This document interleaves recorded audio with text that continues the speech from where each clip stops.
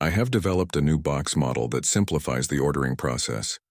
Now there is no need to specify the offsets for the reinforcing ribs.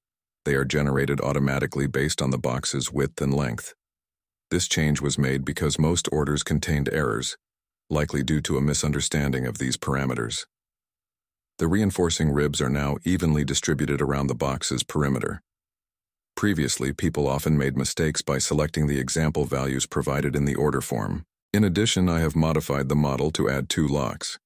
If the box's length exceeds what is required to keep the lid secure with a single lock, the model automatically adds a second lock.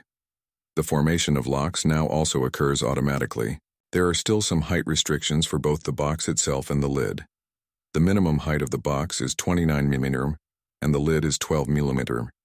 This means the lid's height will be subtracted from the specified height of the box, rather than the box height plus the lid. The STL file is now saved as an assembly. For instructions on disassembling it, please refer to the guide.